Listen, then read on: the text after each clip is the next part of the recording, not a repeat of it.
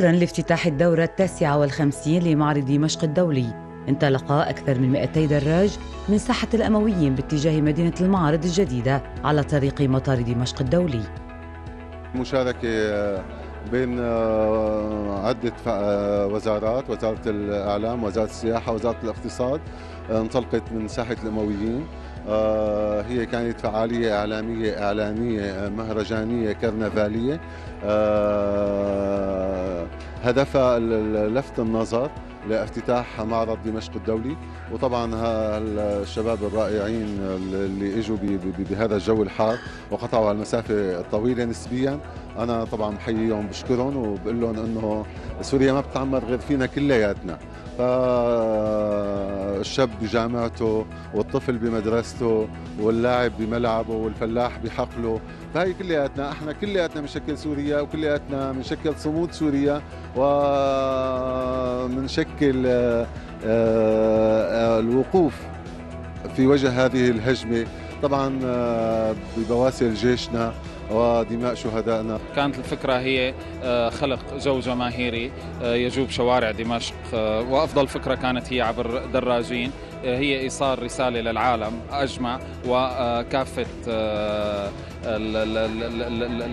المترقبين لافتتاح معرض دمشق الدولي أنه سوريا عادت كما كانت وسوريا بأمن وأمان ونحن نترقب افتتاح معرض دمشق الدولي بعد انقطاع دام عدة سنوات وهي رسالة واضحة للعالم أجمع أن سوريا عادت كما كانت عليه قوية منيعة بهمة الجيش العربي السوري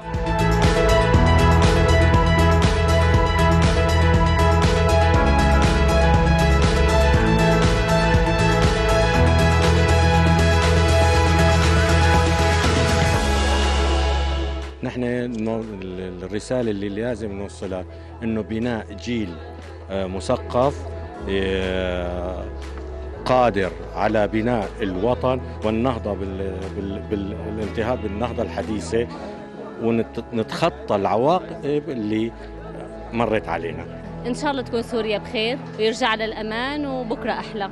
طبعا نحن كل شيء عملناه اليوم لنوصل رسالة إنه سوريا لساتها عايشة بكل المجالات فن آه، جيش شعب.